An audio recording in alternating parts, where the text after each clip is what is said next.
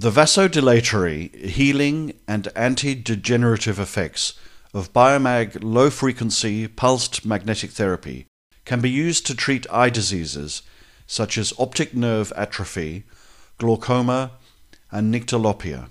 In optic nerve atrophy, the impairment is caused by previous inflammations, but also by aging, atherosclerosis, and glaucoma or ischemic optic neuropathy.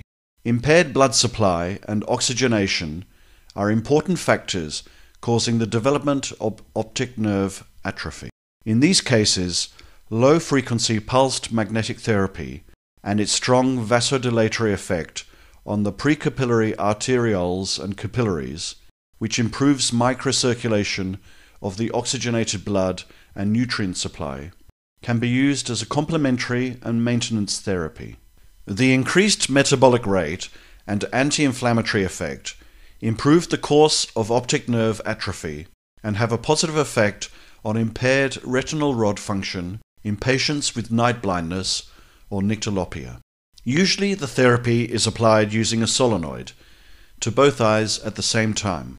Glaucoma is associated with damage to the axons of the retinal ganglion cells and visual field defects which may even result in blindness.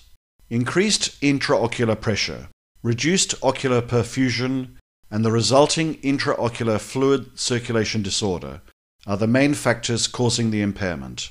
Other risk factors include hypertension, diabetes, genetic predispositions, myopathy, and vascular diseases.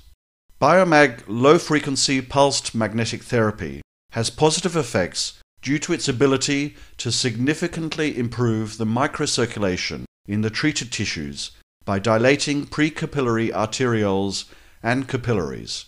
Magnetic therapy ensures a better supply of oxygenated blood and regulates the orbital blood circulation.